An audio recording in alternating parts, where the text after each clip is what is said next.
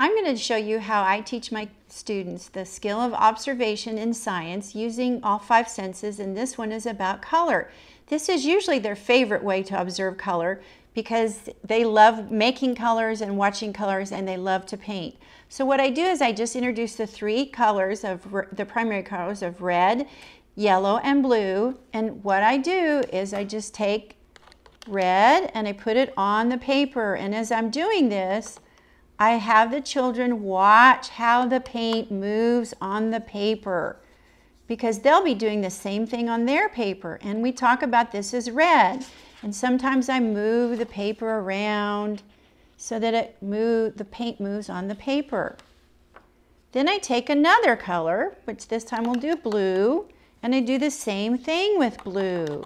And I have the kids observe or look how the paint moves on the paper. And it's so fun because it's colors. Sometimes I even let the colors mix together so they can observe that.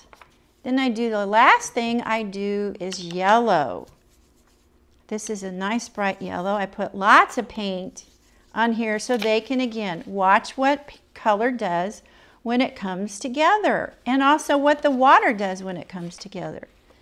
So when I'm finished talking about the observation of color, I let the children do the same thing using the three primary colors. They can put different colors together, they can take their paper and move it around because the idea is for the children to observe color and use their eyes to see what happens when you put colors on paper. Then sometimes we do go outside and look for things that are red we identify what things are red, we look for things that are blue, we look for things that are yellow. And that's how we practice the observation of using your eyes to observe.